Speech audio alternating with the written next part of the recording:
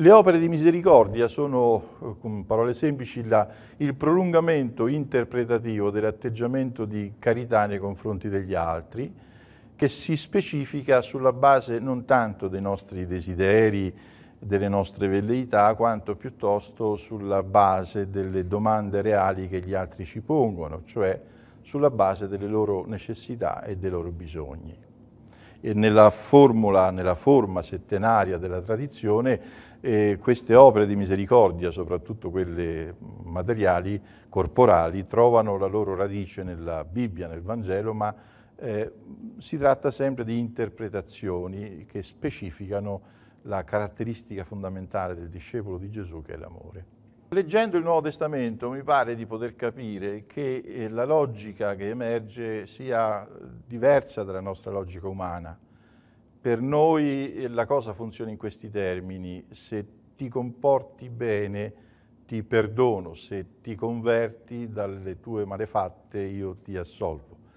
Nella prospettiva di Dio invece è l'opposto, io ti perdono, ti offro la conversione, ti do, ti faccio dono della conversione e soltanto per questo tu hai la possibilità di convertirti. Pertanto anche la conversione diventa un dono preveniente di Dio che esige naturalmente da parte dell'uomo l'accoglienza responsabile, libera, consapevole e per questo stesso esiste una risposta, eh, esiste la necessità di una risposta fattiva che manifesti l'accettazione del dono. Pertanto contemporaneamente la conversione è eh, dono di Dio ma anche opera dell'uomo. Forse nella storia del nostro cristianesimo noi abbiamo sottolineato troppo la dimensione moralistica della conversione, dimenticando invece il dono che si trova alla radice. Per quello che capisco però e so della vita di Francesco, mi colpisce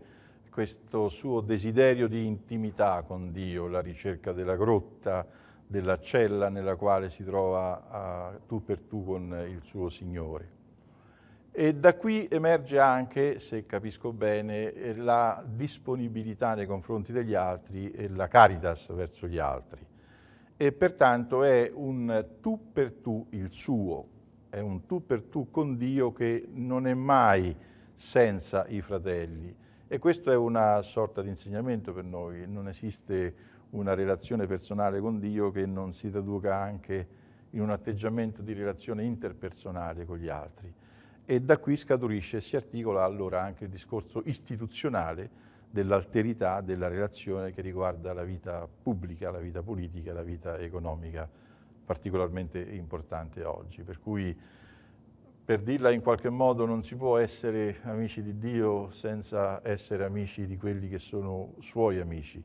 E dal momento che tutti sono amici di Gesù, allora vuol dire che se noi facciamo selezione in base al nostro egoismo e, e al nostro desiderio soggettivo nei confronti degli altri, eh, ci capita sicuramente di escludere anche Gesù dalla nostra amicizia. Eh, la persona è relazione, perché ci sia la relazione c'è bisogno di una identità chiara che si ponga appunto in dialogo con gli altri. Il punto di svolta di questa antropologia è, è non la concezione dell'individuo separato dagli altri, ma è piuttosto questa questo essere in relazione eh, che ci costituisce persona. Vorrei dirlo eh, una, eh, traducendo una immagine eh, della filosofia nota a tutti, cogito ergo sum, diceva il filosofo, penso dunque esisto. Eh, c'era il Papa Benedetto che invece trasformò questo in un passivo, cogitor ergo sum, dice sono pensato da Dio, per questo io esisto.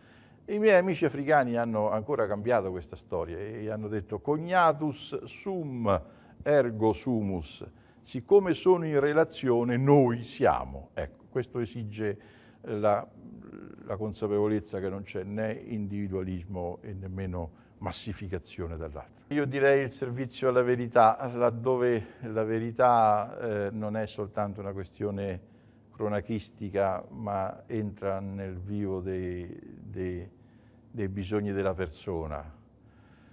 E, e, e, quindi ancora una volta eh, la verità è conosciuta profondamente non dalla persona che più conosce dal punto di vista intellettualmente astratto, ma è maggiormente conosciuta da chi ama. E pertanto se la comunicazione eh, diventa frutto di amore nei confronti degli altri, si riduce il pericolo della spettacolarizzazione di ciò che si dice, si riduce anche il pericolo della funzionalità, della strumentalità delle notizie e forse in qualche modo si apre la strada ad una conoscenza che è per la crescita della persona in quanto capace di accogliere amore e di donare amore.